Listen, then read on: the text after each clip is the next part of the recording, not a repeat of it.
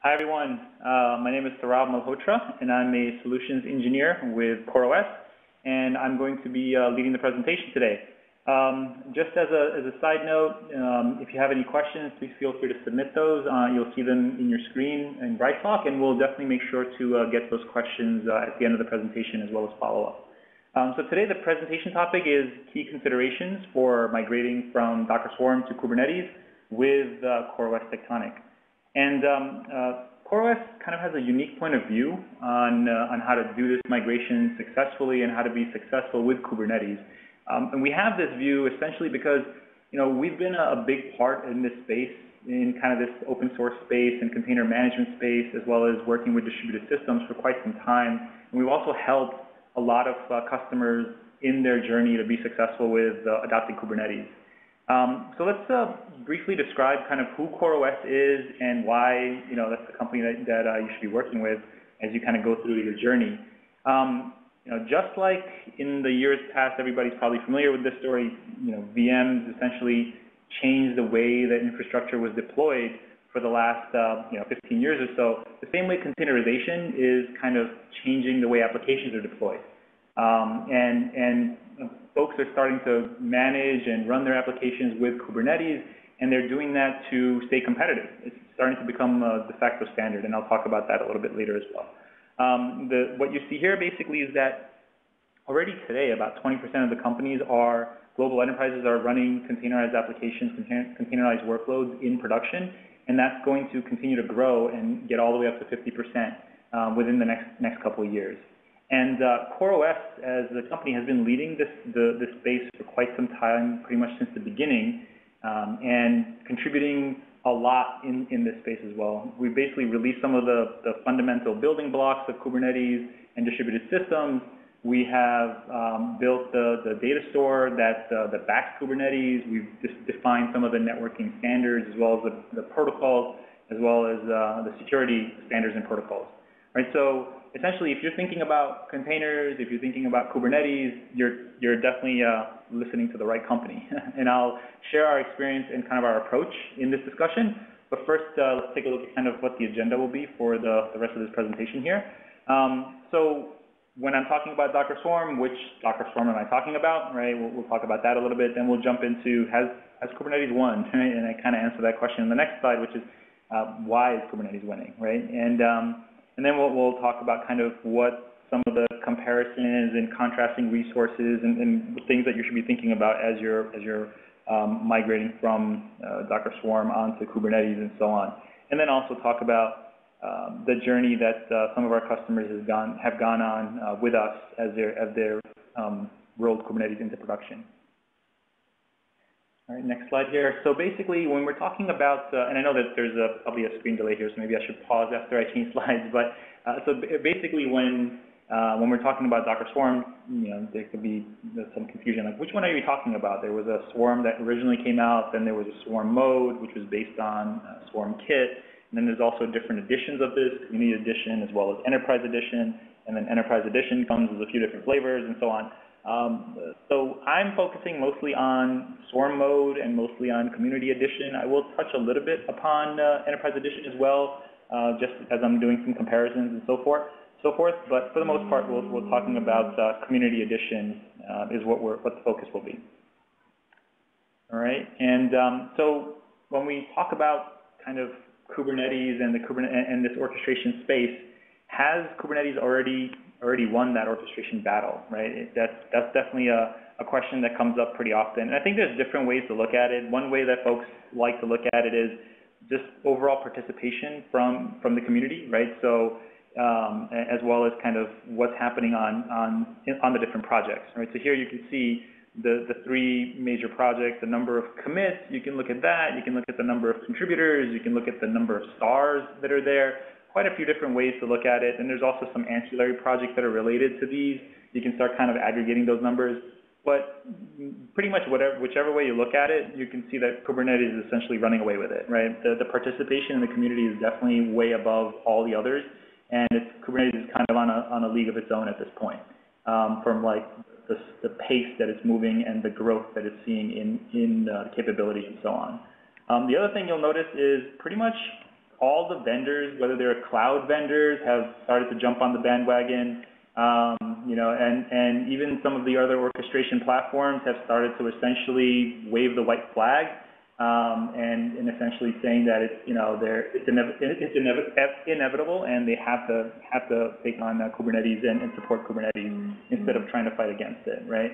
Uh, so yes, I would say that the battle is over, that, uh, that, Kubernetes is sitting on top and, and um, not just the battle, but, but the war is over at this point um, and Kubernetes has pretty much won the orchestration space. So when we're specifically talking about um, uh, Kubernetes against uh, against Swarm, why why is it why why did Kubernetes win? Right? What is the, what are the reasons for that? Um, you know, Docker as a as kind of the project as well as the company definitely made containers very very easy to adopt and made them very popular for sure. They did that really well.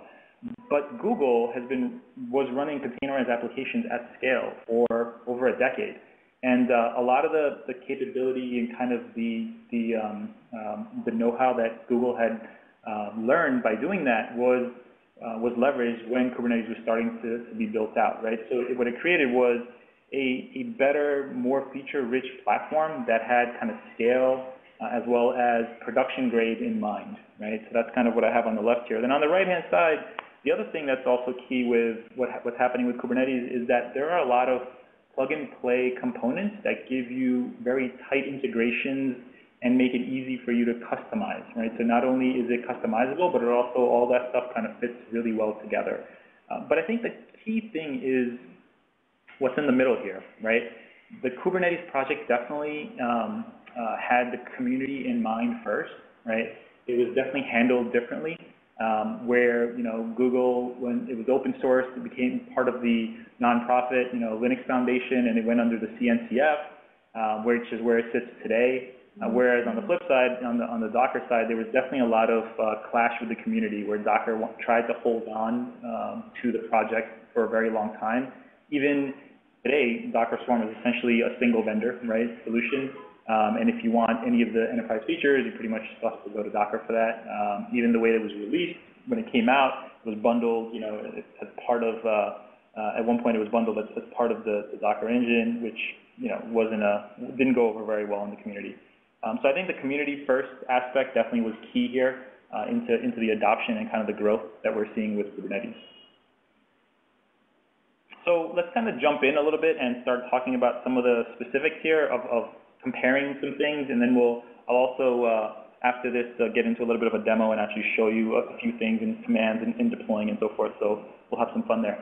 Um, so let's talk about mapping some concepts. Uh, so on the left-hand side, Kubernetes. I'm going to dig in a little more on the Kubernetes side, and then uh, also touch on the Swarm side. I'm assuming that most of the folks that are attending this um, have some familiarity with Swarm, and, and, they're attending this because they want to know what it would be like if they were to be on the Kubernetes side of the, the house, right? Um, so at, uh, in Kubernetes, kind of the smallest primitive that you can have, the smallest deployable object is a pod, uh, where uh, which is kind of the thing that holds the container or multiple containers, depending on if those containers need to live together. Um, it also defines kind of the storage or the network IP space. That's similar to kind of a task that you would have on the Swarm side, which is the, the smallest atomic kind of scheduling unit that has uh, the container definition as well as the commands to run inside the container. Um, uh, next on the Kubernetes side, deployment. So this is how you declare a uh, what you want to actually deploy, right? So you declare a desired state for the pods as well as kind of the number of replicas for that pod, how many you want to don't you want to run. You can also define a lot of other things as well, but that's kind of the, the bare minimum that you need to define, right? You can define things like you know volumes and storage and so on. Uh, quite a, quite quite a lot you can do there, but bare minimum that's what you need. Um, similar to the service definition that you create inside a Swarm, which is how you define a task, right? And it's also kind of the primary interface into Swarm. Um, then you have replica sets. So as you do a deployment with Kubernetes, you get a, a, replica set that's created that defines the number of pod replicas that are going to be running um, and, and, that are going to be running at, at, a given time. And you can scale that up and scale that down after you've created the deployment as well. Uh, the similar concept would be the replica, which defines essentially the scale or, again, the number of tasks that are going to be running for a service. Um, here it starts to get a little different with service. You, you actually define a service inside of Kubernetes, which is kind of a, um, I would think of it as a a logical definition of a grouping, grouping of, pool, uh, of pods and also how to find them and access them. Um, and, and it also load balances requests to the pods, right? So you create a service, that's going to have your, um, uh, your, your static, you know, DNS, internal DNS, as well as um, uh, internal DNS name, as well as IP. That's how you would reference the service, and the service is the one that routes the, the request to the different um, pods um, that contain that have the containers. That's kind of similar to what you have on the Swarm side with Ingress Network. Um, you know, basically provides you the, the routes and, um, and load balances requests for different services to the nodes that are essentially that are actually running the tasks. Um, next, I have the, the nodes. Um, on the Kubernetes side, you've got masters and workers. Masters are where the master components are running and the control plane is running. That's where you that's what you would connect to and, and send your requests to do things, right? And uh, send API requests or send a CLI command line interface requests directly to one of the masters. And um, it would then, it, to the control plane, and it would then kind of route it to the right place. And the workers are where um, the, the pods are going to be running, and that's essentially managed by the control plane. Similar concepts in, in Swarm where you have your managers and your workers. The managers are going to dispatch your tasks, orchestrate, and kind of manage the state, uh, whereas the workers are, are going to do the execution of the tasks. Um, so continuing down with the, some more key concepts. So thinking about uh, labels and labels, right, inside of Kubernetes, labels have a really unique purpose inside of Kubernetes where pretty much everything gets a label, and those labels are used to not only, you know, tag things that give it metadata, but also they're used for grouping and finding as well as, um, you know, using uh, routing traffic, right? So, and, and you use selectors to find things that are labeled a certain way. And I'll show you some of this stuff in the demo as well. Uh, on the Swarm side, you're using labels pretty much just for metadata purposes, you know, tagging and so forth. Um, and you can do labels for both sides on pretty much anything.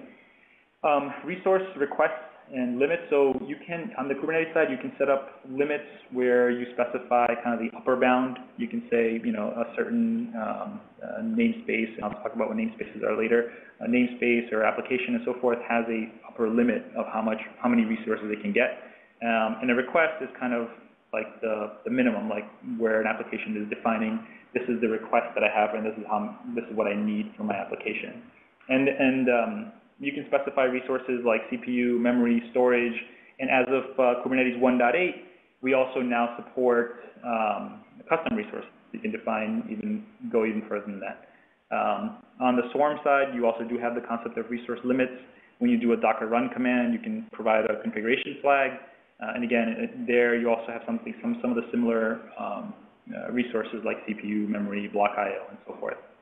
Um, when you get to role-based access control, uh, this is this is where it starts to get a little little different. Where in Kubernetes upstream there is the idea of role-based role-based access control, like roles and role bindings, and you can set those things up at a cluster level as well as at a namespace level. Um, on the Swarm side, the only way you get RBAC is um, you've got to be on Enterprise Edition, either standard or advanced. Otherwise, uh, that's not available. Um, same thing goes with multi-tenancy and isolation. Uh, Kubernetes provides a lot of different uh, capabilities around multi-tenancy and isolation. Things like you can do things like network isolation, node isolation. You can also do uh, things like um, affinities, where where thing where applications want to run together, or or anti-affinities, where applications don't run together. Uh, again, I talked about resource uh, role-based access control and resource quota and so on. So there's quite a few different options for multi-tenancy and isolation in uh, Kubernetes. We actually did another webinar that was focused just on multi-tenancy. It was a a full uh, 30 to 40 minutes, so definitely check that out as well. um, uh, but on the, on the Swarm side, again, multi-tenancy is only available if you're um, an Enterprise Edition Advanced.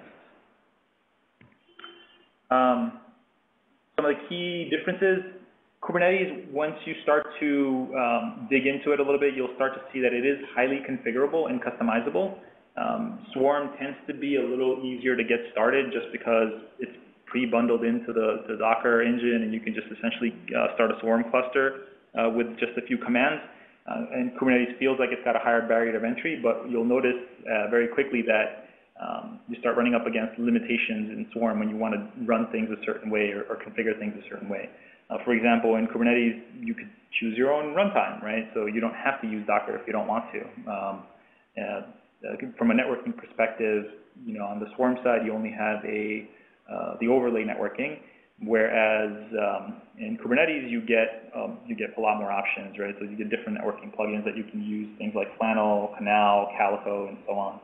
Um, service discovery and routing tends to be tends to be pretty straightforward and easy within Kubernetes, even even as you grow and, and continue to scale. Um, and of course, I talked a lot about the the vibrant community that's there, right? So it's a large and vibrant community that continues to grow, which is uh, only benefiting uh, end users and, and, providing more and more kind of um, uh, enterprise capabilities to different uh, different users.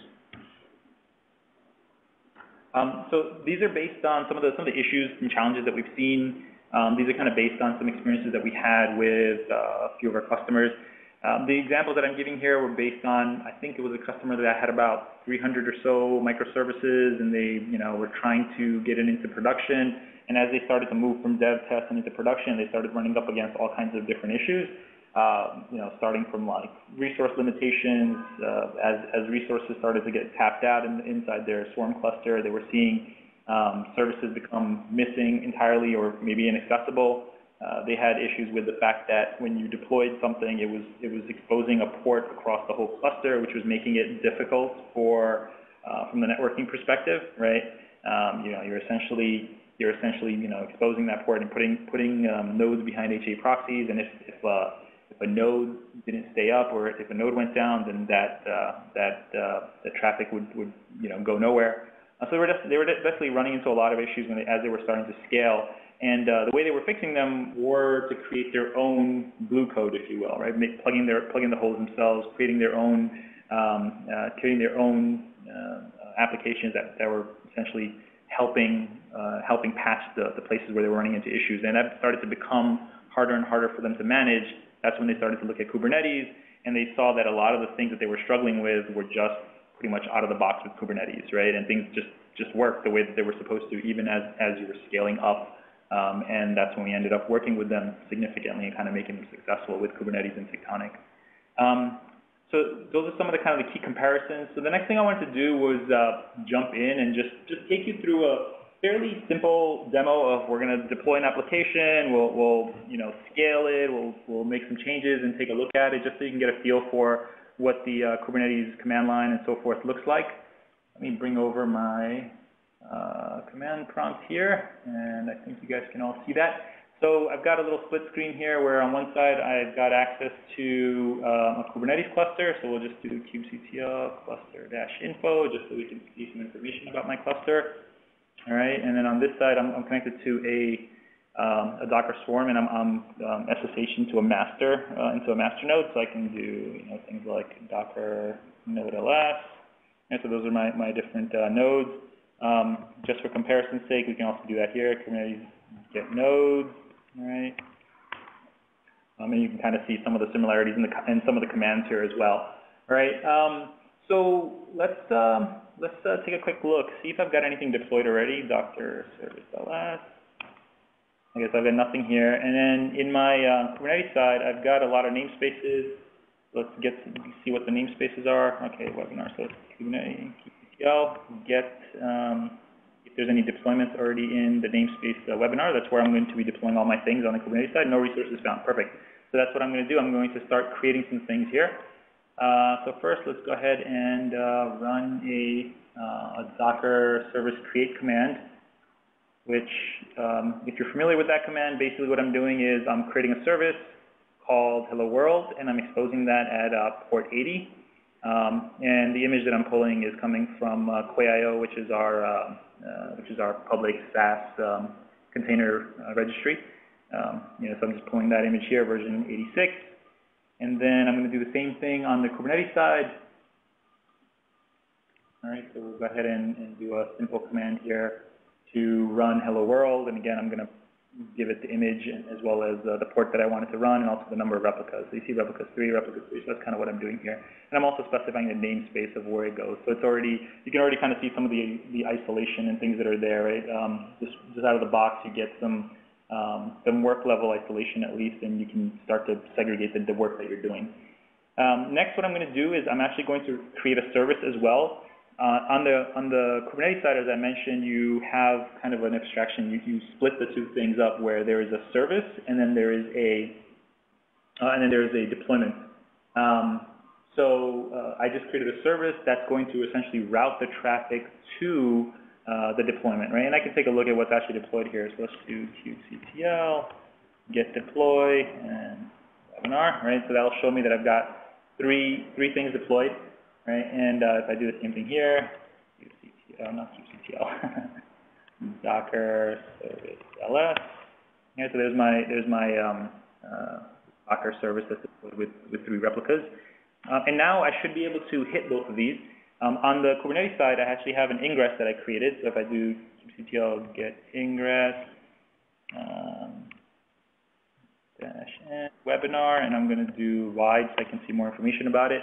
Um, and you can see that my ingress is pointing to webinar.se, this one right here. So we'll just go to that site real quick. And open up my browser, open up the tab. So that's, that's the application I just deployed sitting on um, Kubernetes. And then same way, I've deployed it also on the Docker side. And for Docker, I'm just going to go directly to one of the um, uh, IPs in the cluster and if once I do that, then I should be able to just uh, route the traffic there. So come over here, open up another tab, we'll go there as well. Oh, this is an old version. refresh, there it is. Okay, so um, so that's uh, the application that's that's running on in Kubernetes as well as on the Docker Swarm side. Let's do a couple of other things. We're going to um, update the image to run a different version, uh, just to see what that command looks like. And uh, we'll do the same thing on the both sides. We'll, we'll do that on Kubernetes side, and then we'll do that on the Docker side as well. So here's the command. It's just a simple command. Basically, I'm doing, um, you know, setting the image of this deployment to a new version. I had deployed version 86. I'm changing it to version 84. Um, and then I'll do the same thing over here on the Docker side. We'll do Docker service, and then we will uh, update this as well. And I'm going to run this command, right? So basically what that's going to do is it's going to um, uh, do the same kind of thing, basically change from one version to another. Um, and you can actually see on this side kubectl get pods. And again, I'm going to do get pods for uh, what the pods that are in my webinar namespace. And you can see that these have just been running for a few, you know, 30 something seconds because I just redid them, right? Because I redeployed it. Um, so now if I go back to my browser and I refresh it, you'll see both of these start to show the new version. There's Kubernetes, now it's CoreOS plus Kubernetes, there it is, right? Um, pretty simple Nginx application, nothing special, just deploying uh, a simple, um, uh, displaying a simple HTML, um, uh, HTML page. Um, so what we'll do is we'll scale this out and then we'll start poking around a little bit inside the cluster and, and looking at different things. So if I do a scale command on the Kubernetes side, basically what I can do is I can uh, specify the number of uh, pods. So if I come in here, and run the command. So you see the get pods now is showing five. Before it was three, now it's up to five. And we'll do the same command on the um, on the Docker side, which is um, Docker service scale. So you can see I can I'm scaling that out as well on the Docker side. And, um, and if I get information about um, if I get information about uh, my service, I'll see that there's now five pods running, right? So if I can Docker service ls, you can see that there's now five running.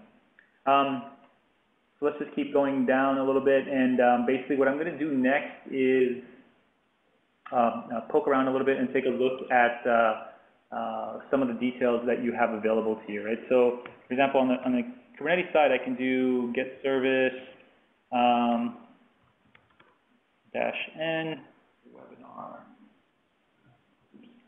I can spell. uh, all right, we'll do that. And then what that does basically is it just gives me information about the service itself. And then you can see, remember I talked about labels and selectors? So you can see the selectors here is uh, run equals hello world, right? And what that's doing essentially is this service is kind of standalone. It's, it's kind of a headless service, if you will, right? It doesn't really have, have anything behind it until something is running that has this label, right? So I could create the service first, and it could just be sitting there until I do the deployment. And then once I do the deployment with this label, run equals hello world, then automatically the service would now start routing to my uh, uh, to my to my application to my pod. Um, if I describe the kubectl describe describe deploy, and the interesting thing about Kubernetes is that there's a lot of abbreviations. So I can say deploy or I can say deployment. It's both would work. Um, world, and that's my um, my Hello World application. So it gives me a, a, little bit of information, kind of shows me the YAML of the, the templates is there. Um, uh, it also gives me a lot of good information about kind of um, uh, like what are the labels, the selectors, what's the current number of replicas. And if I scroll down, it actually shows me the events as well when I do that describe command. That's somewhat similar to kind of the inspect command on the Docker side, right? So if I do Docker service inspect, um, there's a pretty world. And so it kind of gives me some of that similar data that, that you would see with a Docker inspect command, um, you know, showing me the number of replicas and, and also the image that's running and so forth. All right. Um, so on the on the Kubernetes side, uh, let's poke around a little more and like, take a look at a few more things. So I mentioned that you can do things like um, I'm writing Docker instead of kubectl, because I'm flipping back and forth. Um, so I can do things like um, uh, set up role-based access control and so forth. So if I do kubectl get um, cluster uh, roles, right? Um, this will actually show me all the different uh, roles that are defined inside my cluster right now. Um, there should actually be quite a lot because um, we've, we've, been using this cluster and, and, creating a lot of different things. Oh, I spelled it wrong. Cluster, oh, two R's. Cluster roles. Um, so quite a bit, quite a different, bunch of different roles in here. Um, I can look at uh, kubectl, get cluster role, and um, look at one specific one, which is my viewer role. Do you know look at the YAML if I wanted, right? And this this is essentially showing me how that role is defined if I was to define it using the YAML. Um, you know, so that's that's kind of there, there's a lot of things that you can configure in the, on the Kubernetes side that you that give you the ability to essentially limit access to different resources. I, I think I mentioned this earlier. Um, and you can do that through the command line, kind of what I'm doing here, or you can also um, uh, you can also do it through the, the CoreOS the Tectonic UI. Let me just show you that really quickly. So if you were if you were to use um, uh, if you were using CoreOS Tectonic, which is what I'm showing you on the screen here, uh, you do have a UI for this as well. So the same thing that I'm showing on the command line, the, the view user, this is kind of the YAML version, and this is the UI version of everything. And if I wanted to make changes, I could come in here and do edit. Instead of having to edit a YAML, um, I could do it directly through the UI as well. And so there's, there's quite, a, quite a few benefits there, just to make it a little bit easier for you to manage. Um, the other things that you can also do is, uh, I did talk about um, kind of the, the, the network isolation capabilities, right? So the ability to basically um, set up um, set up applications that only are accessible either inside the network or for, from, um, um, I'm sorry, inside the cluster or from one namespace to a different namespace and so on. So you can, there, there's a whole idea of setting up network policies to give you isolation. Uh, so if I do kubectl get network policies, what this will show me is, oh, uh, do all namespaces, so it will just show me all of them. Uh, so these are just some network policies that have been already pre-created here.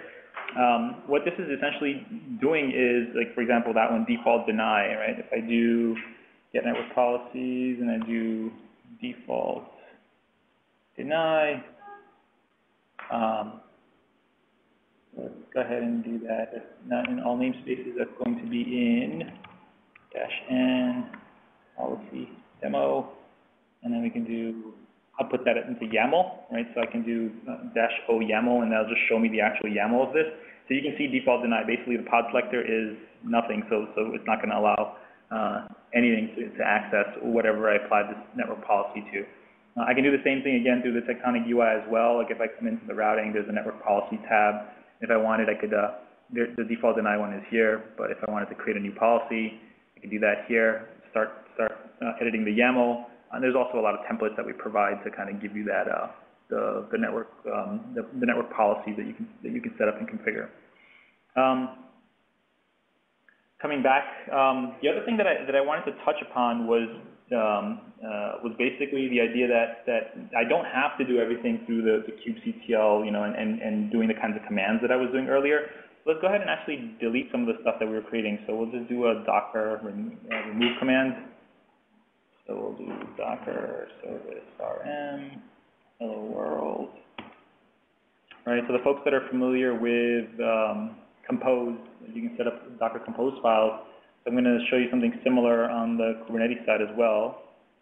Let's go ahead and delete the deployment and then also delete the service. Kubectl, delete service, world. Um, so you notice instead of calling it service, I called it SVC this time, right? So again, abbreviations in many different places.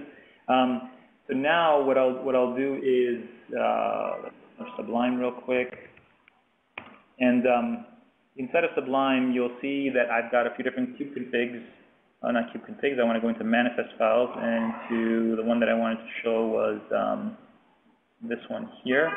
So the same things that I was essentially creating from the command line using kind of the, the kubectl commands, I can also uh, provide a, a, manifest file that essentially will um, uh, that essentially will create the same things for me. So I can create the definitions here, get a little bit more specific, and, and provide other things that I can't necessarily do in the command line. Um, so if I wanted to get give more labels, or if I wanted to, you know, provide uh, define the storage and so on, I can do a lot of those things here. Or also, if I wanted to combine things and and deploy multiple and create multiple things in one shot, I can also do that. I can have a single YAML file or, uh, or multiple YAML files. This could be YAML or it could be JSON, depending on whichever one you prefer. Um, so just to, just to show you what that looks like real quick, let's jump over here. So I'm just going to do a, a, create, and you'll see it created the deployment and it created the service. And if I come back to um, if I come back to Sublime, you'll see you know, so I'm defining the deployment first, and then I'm defining the service next, right? So kind of creating both things very quickly um, and, and pushing them out. And again, if I come back to uh, my, my, I'm sorry, if I come back here, get pod, so you'll see the, the time up is just 27 seconds, right? Because I just created those. And if I do a, and I can also quickly delete everything because all I have to do is just provide the delete command and point to the same manifest file. And then once I delete it, then um, uh, it's going to delete delete the things that I just created. And if I do get pods, you know, they're they're um, no longer no longer there. Um, the nice thing about using the, the manifest files obviously is because you can um, uh, you can start to version control these things and, and, keep a track of what it is that you're actually deploying. Um, so it gives you a lot of it gives you a lot of flexibility kind of in, in what you're going to actually um, uh, store and how you're deploying it and versioning what, what you're deploying into your into your cluster, especially once you start to go from you know, dev to test and, and to production and so forth. A um, couple couple of other things to talk about. Um, uh, there there is this whole idea of um, uh, managing uh, different parts of the cluster, basically like, like I'm sorry, managing multiple clusters as well. So another thing that we've started to work on is um, uh, is this whole idea of having multiple clusters, right? So if you've got a cluster on-prem, if you've got one in, in on AWS, if you've got one in Azure, and you want to start to bring those together and have a single uh, pane of glass, if you will, to manage those clusters, we've actually started to integrate those things together and, and provide multi-cluster capabilities. So here you can see my three clusters that I've got. One is a bare metal cluster, another one is AWS, another one is Azure. And I also have the ability to um, label these things, right? So if I do show labels, um, that'll show you the kinds of labels that I've associated to them. And again, I talked about labeling strategy earlier. Uh, these labels, even at the cluster level, what they allow me to do is I can create policies that will apply to different clusters, right? So if I had three, four, five, how many ever clusters, and you know some are tagged production, some are tagged test, and whatever. I can then set up things like namespaces, um, uh, um, you know, access uh, into the cluster, like role bindings and so forth. And I can do that using a policy so that it gets applied to all of my clusters, as opposed to having to go to individual clusters and setting up all those different kinds of things. Um, and th this is available on the command line, but of course it's uh, in the Tectonic UI as well. So here you'll see if I hit the drop-down menu, I can flip around between my different clusters. This is my AWS cluster. Um, I've also got one for Azure. Right, flip over to the Azure cluster, and then you can see the URL change at the top. You know, it's got the, uh, the Azure DNS cloud app.azure.com and so forth. Um, so that's kind of giving you uh, giving you a lot of uh, uh giving you a lot of uh, capability to kind of make it easier for you to actually flip around and, and manage multiple clusters. Um, so that's kind of what I wanted to show from a uh, from a quick demo perspective, just to give you a feel for the Kubernetes command line, as well as give you a feel for kind of what the manifest files look like and so forth.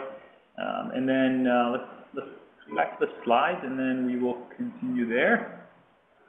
All right, let's go back over to my slides view, and then we'll do presenter and uh, share my screen real quickly. Oops. Oh, no, that's the right place to be. Okay, perfect. Um, Hold on one second. Just going to maximize this. So, um, let's jump ahead next. So there's quite a lot of different um, uh, projects and things that you can that you can look into as you're starting to come up to speed with Kubernetes and things that you should be aware of. I just listed a few here that I think are important. Uh, some of these are created by CoreOS um, that are kind of core components. Um, others that, uh, that, I haven't listed here, you know, that are also very important. But at the same time, um, these are just a few that you should probably just, you know, do some research on and look into. I'll just run through them real quick. Like etcd, that's essentially the the um, uh, the key value store that maintains the state of Kubernetes, and every Kubernetes cluster has an etcd cluster that's that's behind it. Um, and essentially it's doing, you know, uh, it's managing all the, the state and kind of keeping track of everything. Um, Clair, which is a security scanning project, that's one that allows you to scan your containers and uh, uh, for known vulnerabilities, so you know that what you're deploying into um, uh, what you're deploying into your, your production, you know, or into dev test has vulnerabilities or not. Uh, Prometheus is a monitoring solution that we bundle very tightly with inside of Tectonic. Uh, it's, it's another one that we're participating in. It's an open source project as well. You know, that's a good one to, to know about. Kompose is, is, is, an interesting project if you haven't looked at that yet. It, it gives you the ability to take your uh, Docker Compose files and convert them to Kubernetes uh, manifest files, uh, which is interesting. I'm, you know, I haven't played with it enough myself to uh, tell you how well it works, but it definitely looks like a really interesting project uh, for anybody that's, that's trying to migrate, one that you should look into. Helm charts um, and Helm um, is, is another project that's, that's quite different and, and interesting to look at as well it gives you the ability to essentially package Kubernetes applications and, um, and deploy them as a, as a unit. So if you've got uh, applications that have different um, components that all need to be deployed together and, and set up and so forth, uh, Helm makes that easier for you, easier for you as well. Um, uh, container Linux, of course, CoreOS is Container Linux, you know, definitely one of the one of the best OSs for running container-specific workloads. One of the most popular as well. Uh, definitely another one to look at because um, that's kind of how we run how we run um, Tectonic, you know, runs on top of uh, CoreOS Container Linux. So those are some of the some of the open source projects that you should be thinking about. Um, and and you know, so like you like you saw, getting Kubernetes up and running and, and, start doing some simple deployments and all that stuff is very easy, very easy to do, and, and you know you can get up and running in minutes, I would say. Uh, when you start to get into production or you start to think about scale, then there's a lot more other, a lot of other things that you need to start thinking about, right? Or things that you need to plan plan for, right? So things like how am I going to handle disaster recovery? How am I going to handle uh, metering and, and chargeback if I've got multi-tenant environment, right? How am I going to um, manage multiple environments if I've got on-prem environments and cloud environments and so forth? How am I going to do uh, monitoring and alerting of my cluster? How do I do upgrades of the whole stack, right? So those are kind of some of the things that require more thinking and planning and, and, and uh, you know, thinking ahead before you start to, to go into production. And what, what we think is that if you're working with the right partner uh, in that journey, then essentially you have the ability to reduce your risk, right? So uh, reduce the cost of infrastructure, improve the time to actual value, um, eliminate some of that, that, uh, that uh, cloud vendor lock-in, as well as uh, make your infrastructure team's life a lot easier, right? And, uh, and, and, it gets you from kind of that, that install to, to operating in production. It allows you to shrink that time if you're working with the right partner. Right? And what do we think is, what kind of partner do, is one that you should be looking for? Essentially, one that provides an enterprise platform, right, that's got the capabilities that you need. Things like um, the ability to have portability across clouds, the ability to give you automated operations, right? Are you the ability to install easily, the ability to upgrade easily, and so on. Uh, it should be a vendor that's, uh, that you're working with that's basically providing you the latest open source components, right? um, and giving you a lot of the out-of-box security, monitoring, alerting, uh, metering, and chargeback, and those kinds of things kind of out of the box, right? Um, and, and that partner should also have kind of expertise in the space, uh, significant deep expertise. And, those of you that can guess, you know where I'm headed with this, right? Essentially, you want somebody who's been leading in this space for quite a number of years, has, has uh, worked on container management solutions, has, has that, that deep engineering expertise, um, provided through you know field engineering, provided through support, and so on, um, in, and is known to do that in the in this space right? And essentially, CoreOS, we are definitely that right uh, expert to help customers on that journey.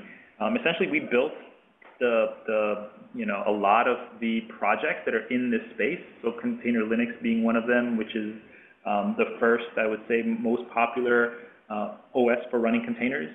Uh, and then just going kind of up the up the line there or down down the list there, either way you want. But basically, the you know we create we're the creators of etcd, which is the, the heart of Kubernetes. You know we we invented the container networking space essentially, um, which with Flannel and, and um, being founding members of the CNI.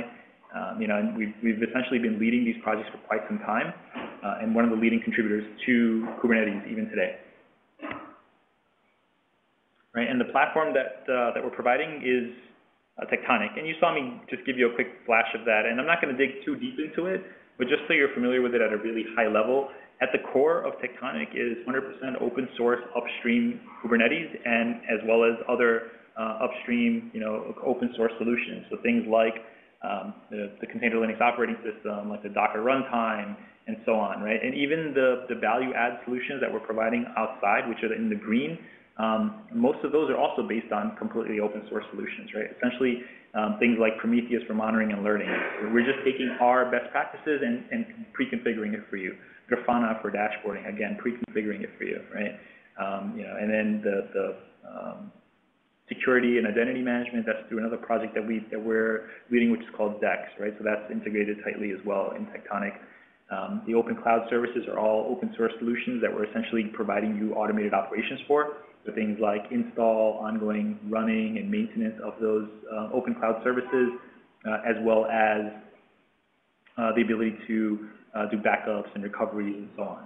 Um, and so that's kind of at a high level what the what the platform provides. And of course, the um, the platform also runs on uh, uh, multiple environments, as I mentioned earlier, right? So we can deploy applications to all different clouds and so forth. Um, just to touch upon kind of some of the companies that we've helped on this journey uh, to Kubernetes and just give you some examples. Uh, I took the customer names off, just going by the uh, what business they're in. Um, but basically, if you think about, you know, these are some of the, the, great results that we're seeing, and this is just three examples. We've got a we've got a much bigger list here of customers that we've been partnering with and helping them on their containerization journey.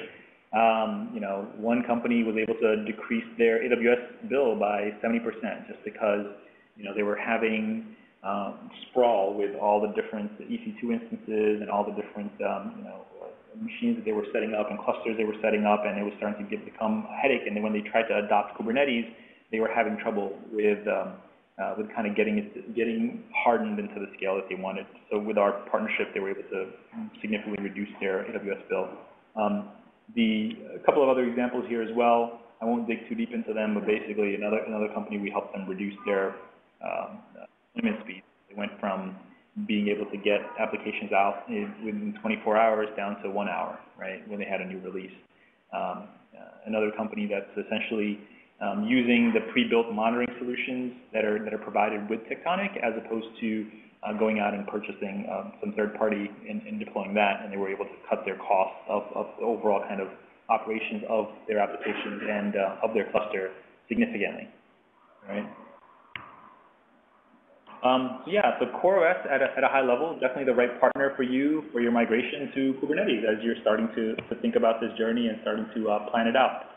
Um, that's pretty much what I had today, and uh, that's what I wanted to cover. If you have any questions, definitely uh, feel free to put them into the into the, the chat right now, and I'll, I'll take a look. Um, but of course, if you want to follow up, definitely we can follow up uh, as well. And these are just a few links that you should check out. You know, coreos.com slash tectonic or coreos.com um, slash blog. And of course, uh, we're also hiring, so if anybody's interested, take a look at the uh, careers page as well. Let me jump over here and I'm going to take a look at the questions. Um,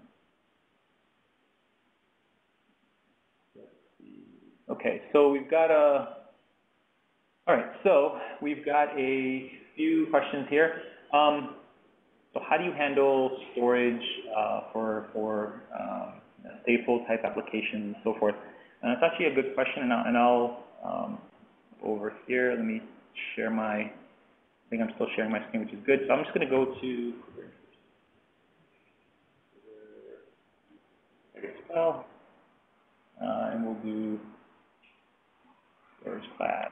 So this is this is definitely an interesting resource. Kubernetes.io, great documentation there. CoreOS.com also has really tremendous documentation.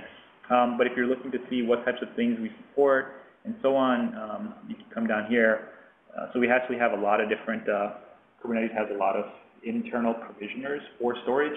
And what this means is that if I create a application that requests storage or an application that requests a volume, um, as long as I have one of these internal provisioners set up, that Kubernetes can actually dynamically uh, create the create the volume for me on the fly, which is which is pretty slick. And then um, as I as I and I can and I can kind of configure how that should happen, whether the storage should go away if the application goes away, or whether the storage stays. And so there's, there's a lot of configuration that can be put in, but it's really nice to have the internal provisioners because you can quickly spin up things. Another thing you should look into if you're if you're thinking about stateful applications, um, Kubernetes has a concept of um, uh, stateful sets, right? So if I go here, uh, I just like to use Google search; it makes it easier. Stateful sets, right? So if you do if you come to stateful sets, that's another one that um, uh, that you should look into. Uh, stateful sets make it really easy. So I showed you deployments. There's a few other things, that, uh, a few other ways to deploy applications. Um, if you're deploying a stateful application, stateful sets is definitely a very powerful way to do it. Um, another way to do it is daemon sets. That, that's if you want them to run on given nodes and so forth. So those things to uh, look into as well. Um, uh, networking, what do we support in Tectonic from a networking perspective? I mentioned overlay. Um, so yeah, I, the, the three that I actually mentioned, those were the ones that we support. So out of the box, uh, CoreOS essentially like created the space from a networking perspective for uh, uh, for Kubernetes with Flannel and, and with defining the, the CNI. And uh, so we support Flannel out of the box, and we also support um, uh, we also have started to support uh, Calico, which is another one that was created by the guys over at Tigera. And then there's also a joint project called uh, Canal that we also support. Um,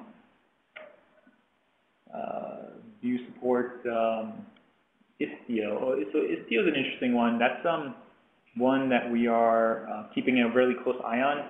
Um, just like you know, Kubernetes has kind of won the orchestration space and, and kind of has, has been leading that space. Istio seems to be winning it in its own category in kind of like that service mesh category. Um, and um, for those that are not familiar with Istio, essentially it provides like a, uh, service mesh that uh, runs on top of Kubernetes and acts as like um, a, uh, like a network between the different various uh, microservices that you might have running, right? And it gives kind of um, some some traffic management, right? Um, uh, and it allows you to kind of see the dependencies and also how the traffic is flowing and so on. But yeah, I mean, long story short, we're keeping a close eye on it, and, and uh, you know, as you see that project kind of move more towards uh, being donated to the CNCF, then uh, definitely you'll see us as well as uh, start to build Richard and, and, and include Istio. Definitely a lot of interest in that one. Um, those are all the questions that I'm seeing for now. So I think um, we can uh, we can uh, end the presentation. And if you have any other, if anybody has any other questions, of course, uh, feel free to reach out us as well on, uh, you can, you can find us on uh, coreos.com. Thank you, everyone.